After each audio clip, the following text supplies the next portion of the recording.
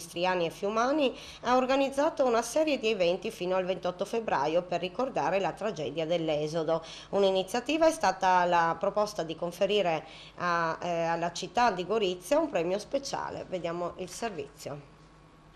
In occasione della giornata del ricordo 2012, la città di Gorizia è stata premiata dal presidente Giorgio Napolitano su proposta dell'associazione Venezia Giulia e Dalmazia come città che ha accolto migliaia di esuli cercando di dare loro ospitalità e conforto, creando anche un intero quartiere per queste persone con i nomi delle vie delle località abbandonate come Piazza Fiume, Via Pola, eccetera, abbandonate da quella che possiamo definire una vera e propria pulizia etnica.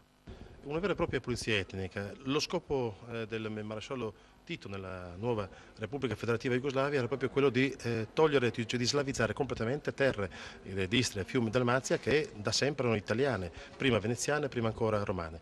Basti pensare che su 500.000 abitanti che risiedevano, che vivevano nell'Istria, ben 350.000 scelsero, scelsero, furono costrette all'esilio. L'esilio per paura della propria incolumità, esilio perché proprio questa opera di snazionalizzazione veniva fatta nel peggior dei modi, veniva fatta con le minacce, con le minacce reali, concrete, attendibili, ahimè, delle foibe. Ci sono state 9, 10, 11, 12 mila persone che sono state infoibate.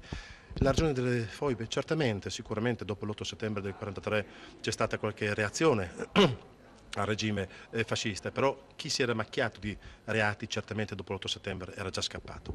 Perciò tutte queste migliaia, migliaia, migliaia di infoibati per un'unica colpa, quella di essere italiani e di poter rappresentare un rallentamento, un fastidioso rallentamento, comunque un pericolo a questa slavizzazione celere che Tito voleva fare delle terre di Istra e Fiume d'Armazia.